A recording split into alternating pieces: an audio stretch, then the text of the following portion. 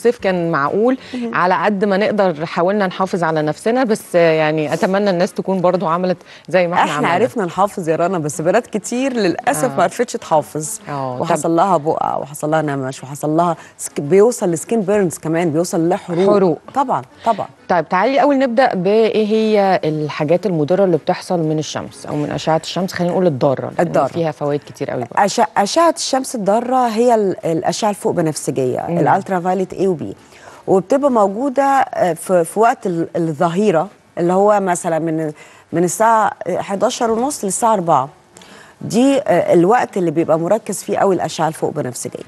لو آه، ما عرفناش نحافظ على بشرتنا وقتها وتعرضنا للأشعة من غير ما نحط واقي الشمس من غير ما نح- نحط كريم ترطيب هيحصل تصبغات وهيحصل بقع لأن الشمس بت اولا بتحفز جدا على إفراز الميلانين والميلانين هي المادة المسؤولة عن التصبغات وهي المادة المسؤولة عن لون جلدي لون توحيد شعري اللون هي. هي المادة دي اللي بتديك لون عينك آه. لون جلدك فبالتالي لما, لما بيزيد بتزيد. التفاعل بتاعها أو إنتاجها إنتاجها بتطلع بالظبط. لون زيادة بتطلع فبت- لون زيادة فبيبقى عدم توحيد لون بشرة وحتت غامقة وحتت كده آه. آه، فدي من أهم المشاكل اللي اشعه الشمس بتعملها. plus إن اشعه الشمس آه، ال ال الوقت طويل اتعرضت لها من غير برضه ما أحط الكريمات المطلوبة هتكسر لي الكولاجين.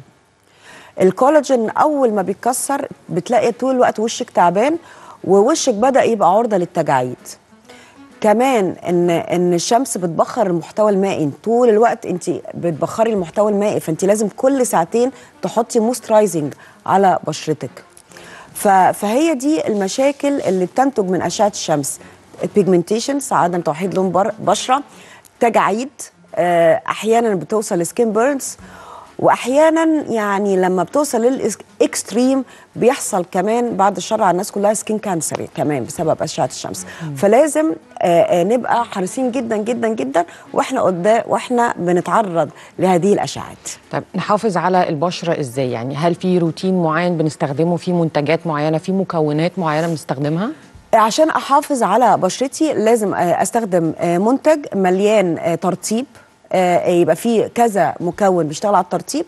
يبقى فيه آه، مضادات أكسدة. يبقى فيه vitamins يبقى آه، amino acids يبقى فيه مكونات آه، طبيعية تع- تعمل على تفتيح وتوحيد لون البشرة. كل ال- مكونات. المكونات دي اجتمعت في كريم آه، الحقيقة أنا شايفاه إنه من أقوى الكريمات ال- اللي تقدر تساعد على توحيد لون البشرة وعلى تغذية وترطيب البشرة وتقشير البشرة من غير أعراض جانبية واللي هو كريم بينكي. هنتكلم بقى على حتة التقشير دي لأن فيها أقاويل كتير جدا لكن تعالي نرجع آه، أو نبتدي بالمكونات اللي بتساعد على الترطيب وتوحيد اللون. إيه المكونات اللي موجودة في المنتج اللي بتساعد على ده؟ المكونات اللي داخل كريم بينكي بتساعد جدا على الترطيب آه، زبدة شيا وزبدة كاكاو. دول أكتر مكونات بتساعد لي على الترطيب plus لحاء الصفصاف. آه، آه، مادة نباتية طبيعية بتعمل ترطيب. المكونات اللي بتساعد على التفتيح آه، عرق السوس موجود داخل كريم بينكي أيوة. آه licorice extract آه عندي ال blueberry التوت البري. آه برضو بيقدر يشتغل على الميلانين.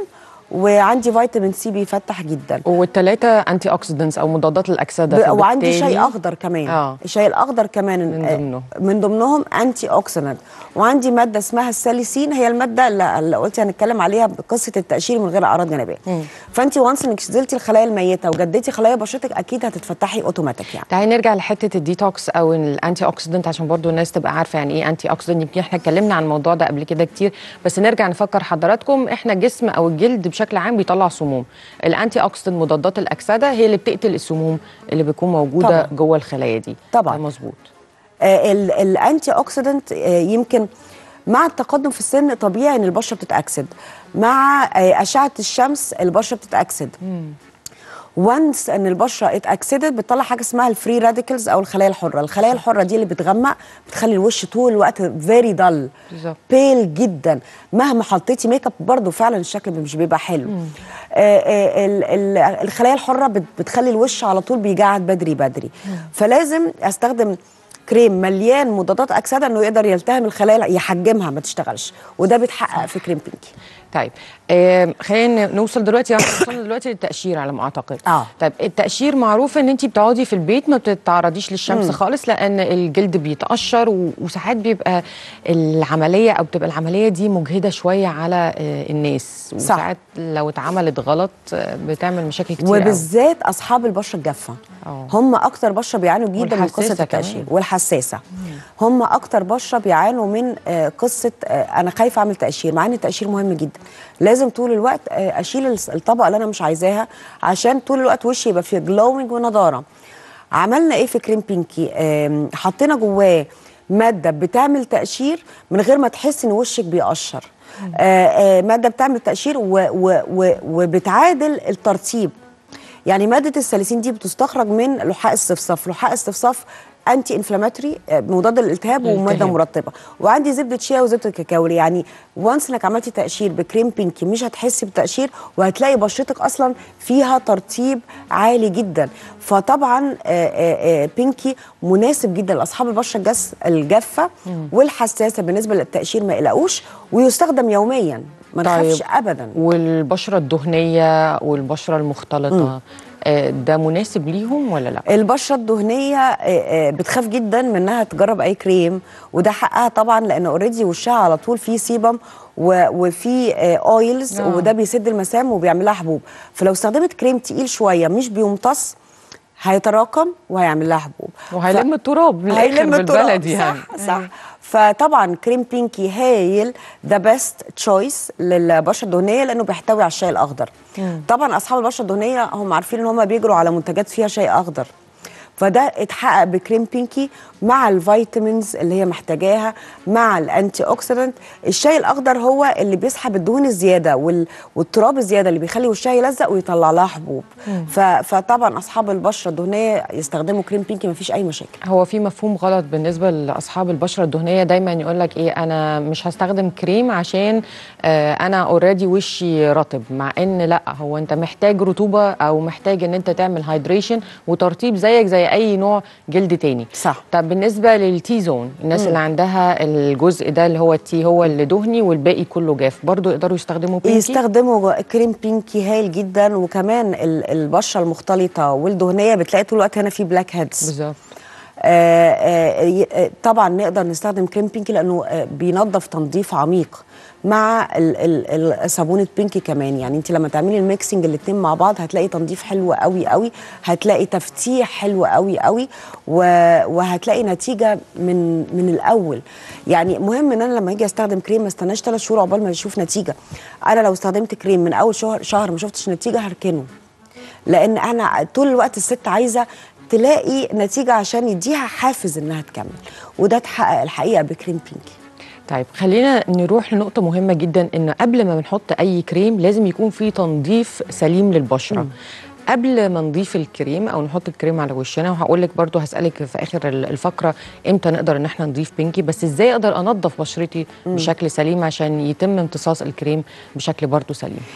كنت على طول بقول يا رنا إن أنا عشان أستخدم كريم بينكي لازم الوش يبقى نظيف آه آه فبقى كنت بقول إن إحنا نستخدم الغسول المناسب لطبيعة بشرتنا. لأ أنا هستخدم صابونة بينكي. صابونة بينكي أثبتت نجاح كبير جدا لانها صابونة طبية مكوناتها طبيعية ما فيهاش chemical. صابونة معمولة بفيتامين E ومعمولة بال olive oil اللي هو زيت الزيتون ومعمولة بزبدة شيا. طبعا هي دي اللي إحنا شايفينها على الشاشة يا رنا. إيه أول أول صورة نزلت معانا دي الصابونة اللي بالفحم.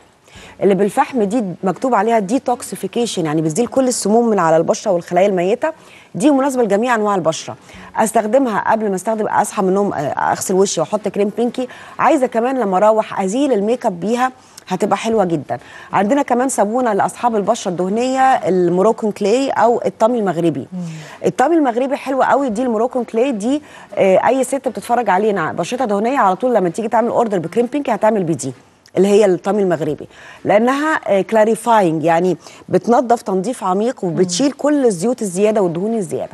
عندنا كمان بالعسل والشوفان لأصحاب البشرة ال ال الم- المختلطة.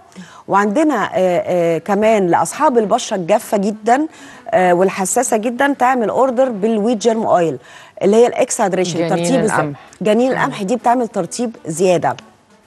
في كمان صابونة تنفع جدا اللي هي صابونة آه، آه، صابونة لل extra brightness للتفتيح الزيادة. صابونة بالعرق السوس وال وال والتوت ودي نفس المكونات اللي بتفتح في كريم بينكي والصابونة دي مناسبة لجميع أنواع البشرة. البشرة.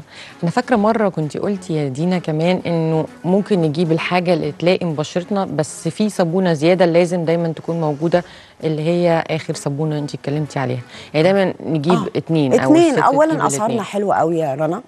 السعر مناسب جدا جدا لكل الفئات اللي بتتفرج علينا من الستات والبنات. و... وأنا بنصح إن أنا أستخدم الحاجات دي و... وأخليها معايا في ال travel set أو في اوضه في أوضة النوم على التسريحة ك lifestyle وكوقايه مش لازم إن أنا آه، أستنى إيه ده؟ ده وشي اتملى تجاعيد ده وشي اتملى تصبغات. هو هايل فابتدي التصبغات بعد كده. التجاعيد هو هايل إنه بيعمل حماية من ظهور التجاعيد. التجاعيد السطحية كريم بينكي بيحلها كويس أو التجاعيد العميقة وعايزة أحلها